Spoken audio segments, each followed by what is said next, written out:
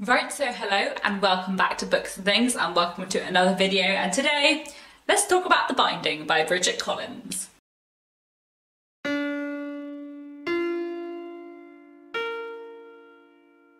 So, this is a slightly spontaneous video. I was not intending to film this this weekend, but I've just finished reading The Binding by Bridget Collins and I need to talk about it. And I have too much to say about it for it to be contained in one little segment of a wrap up. So I thought I would make an individual book review because, oh my goodness, my goodness, this book was so good. I do not have words to describe how much I love this book. That's not true, I have many words. There will be like 10 minutes of words coming your way any moment, but this was truly fantastic and I loved it so much and I got so invested in it and I so thoroughly enjoyed it. I don't think I have enjoyed a book this much since I read The Watchmaker of Filigree Street by Natasha Pulley. So it's been nearly three years since I read a book I have loved as much as this.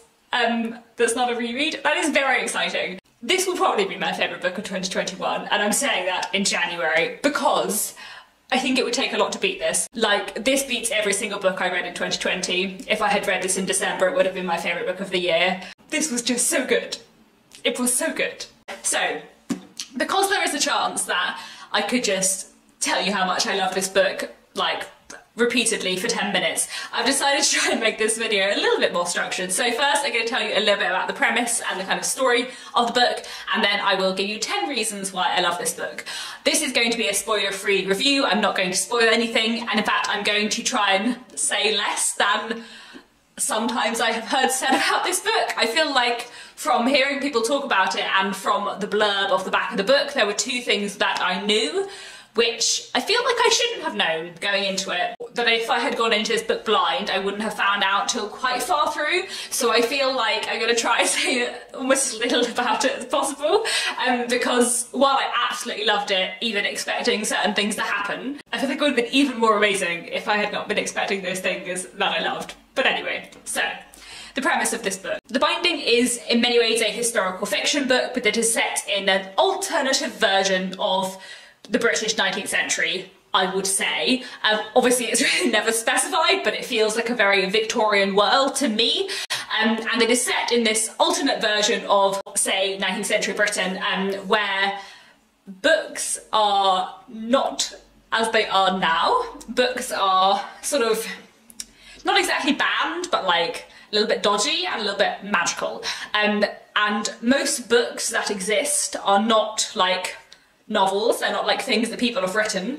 They are um, memories that have been like magically removed from people's mind. So there are these people called binders and they bind people's memories into books. Usually people go to a binder to do this when they want to forget a particular passage of their life or a particular bit of pain or regret or guilt, something like that. If they have something in their life they no longer want to remember, they go to a binder and get it taken out of their head and put into a book. And we follow a young man called Emmett Farmer. He has grown up on his family farm. He is expecting to become a farmer, um, but at the beginning of the book we know that he has been very ill for the last few months with a terrible fever which has left him weak and not really sure if he can work on the farm anymore. And then near the beginning of the book, he is summoned by the local binder to come and be her apprentice because she says she sees some power in him and that he will be a great binder. So he goes to her house um, in the middle of nowhere. Everyone thinks she's a witch um, and he, she is going to teach him how to do bookbinding and how to bind people's memories into books.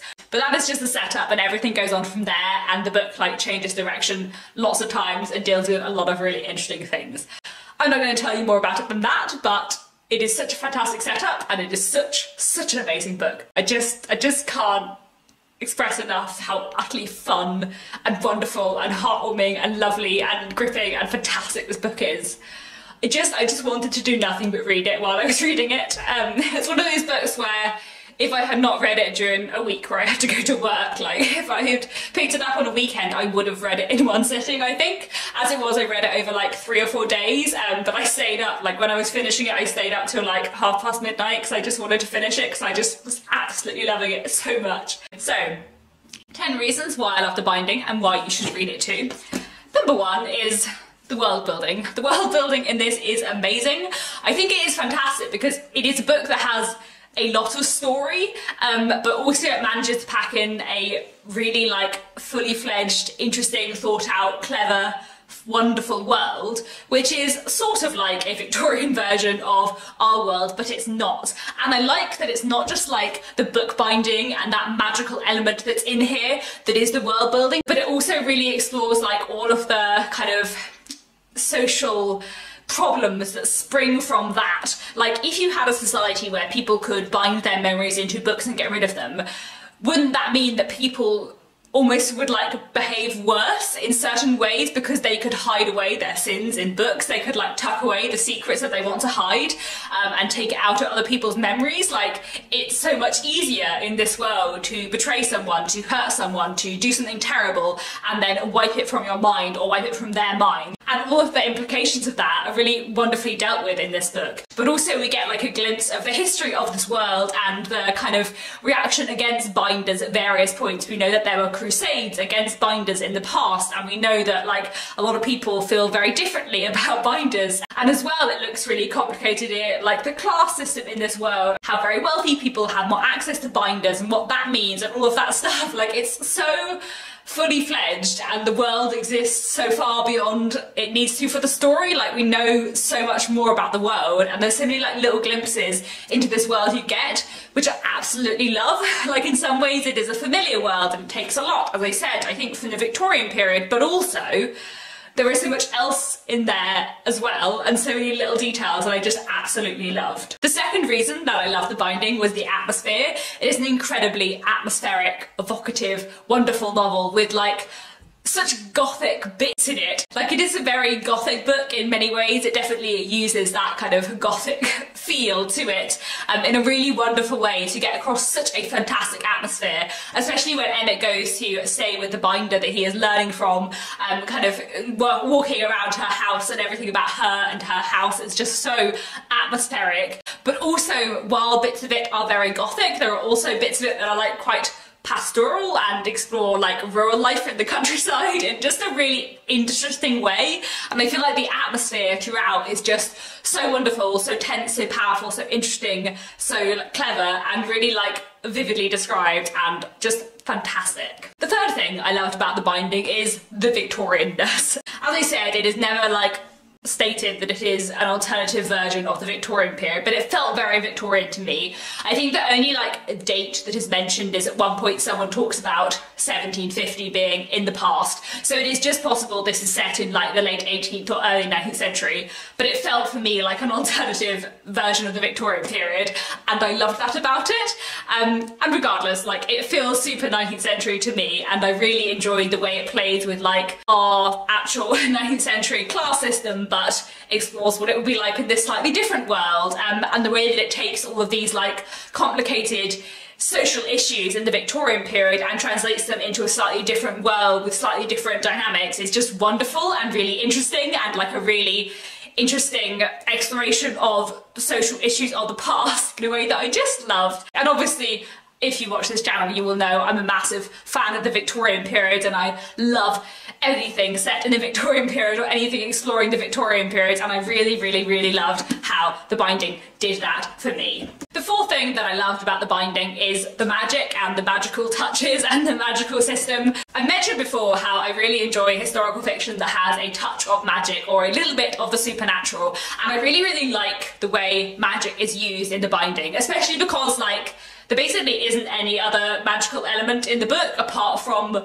the binding process and the way people can take people's memories into books. Like that's the only magical element.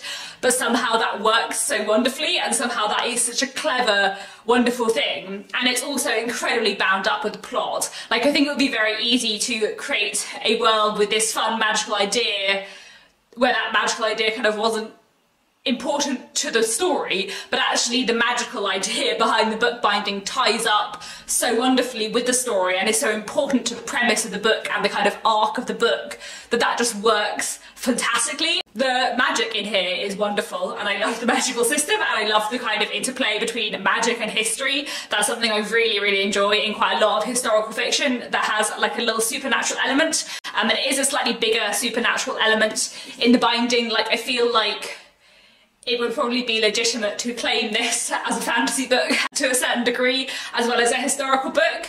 Um, and especially like it's interesting. I think part one of the book feels almost like a fantasy book, and then in part two of the book, you're like, this is historical fiction. And I love that too. But anyway, we're not gonna go into that. I just really, really like the magic in here. I thought it was really fun and really nicely done. I just, yeah, so great. The fifth thing I love in this book is the way it explores memory. Obviously, because we have this big important plot device and premise, which is all about people taking their memories and putting them into books. Memory is a theme that is really wonderfully explored in here. I've mentioned before that I really, really love books about memory, um, and then like a lot of my favourite books are books which are like looking back narratives or things that explore memory and the complexities of memory and like the things you forget and remember and stuff like that. And I think the way this book looks at memory and how memories can make a person and how removing someone's memories is like taking away some of their identity was just fantastic and like so, so interestingly explored. I really, really loved that about it. The sixth element of the binding I wanted to mention was the like bookishness of it.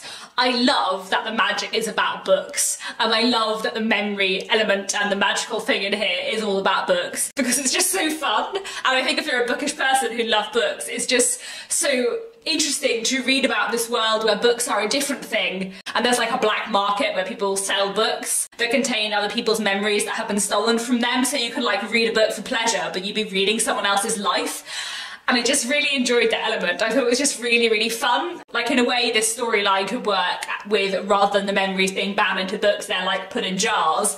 But somehow it's just so much cooler they're put in books, and I just, just really, really enjoyed that element. The seventh thing that I really, really loved about this book is the characters in it and the complexity of the characters in it. I really, really like all of the characters in this book. They are very, very engaging, but I also liked that the characters in this book um, are not all straightforward. They're not all one thing or the other. They're very, very complicated. They make mistakes. They sometimes do bad or cruel things, but also you go to understand them all so much. And I think the characterization and the like psychological complexity of the characters in here are wonderful. There are so many characters that I think are amazing, and I'm not going to tell you who my favourite characters are because, as I said, I feel like I knew slightly more about this book than I wanted to go into it, which is why I'm being a bit vague here. But some of the characterization in here and some of the insights we get into the characters are just wonderful and so, so cleverly done and so complicated in a way that I just absolutely loved. The eighth thing I've really loved in this book is the relationships between the characters. Again, I'm not going to say too much about this because I've tried to be a bit vaguer so that you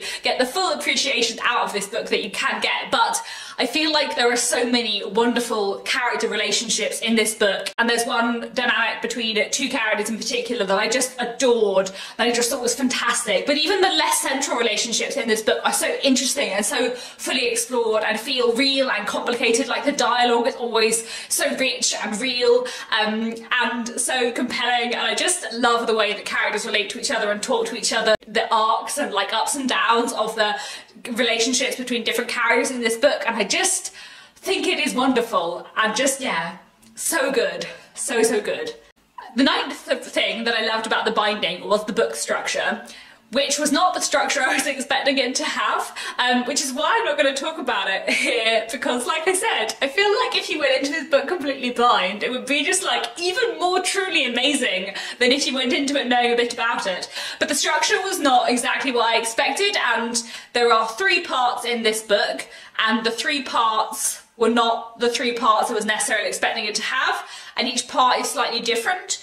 Um, I'm not going to say more than that but I loved the way this was structured so much and I think that was perfect and so interesting and so cleverly done. And like I said not really what I was expecting but wonderful. So yes yes. The final thing that I love about the binding was the writing. This book is beautifully, beautifully written in just that kind of writing that I love where it's beautiful and it's lyrical and it's clever and it's wonderful, but it serves its purpose in getting across the point, the story, the themes, the characters. Like, the writing is just fantastic, and you almost like don't notice how good the writing is because the writing is there to tell you this amazing story, uh, which is the kind of writing I love best, I think especially in historical fiction. Like it is wonderful and it is beautiful and it is lyrical, but it's also, it's just the perfect way to tell this story, and I love that. So there we go. Those are 10 reasons why I love the binding. As you may be able to tell from my overflowing enthusiasm in this video, I just love this so much. I just so enjoyed it. It's just like ticked all of my bookish boxes, and I just just thought it was truly incredible and I just thoroughly, thoroughly enjoyed it. Like not only is it fantastic, not only is it brilliantly written and clever, not only did it make me think,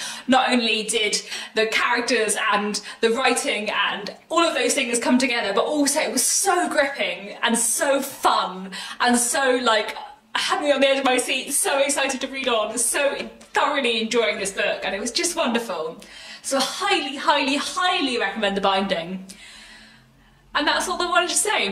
So please let me know down the video if you've read The Binding. Did you love it as much as me? Because I hope you did, because it was so amazing. So amazing. So that's all for now. Thank you very much for watching this video, and I'll be back very soon with another bookish video.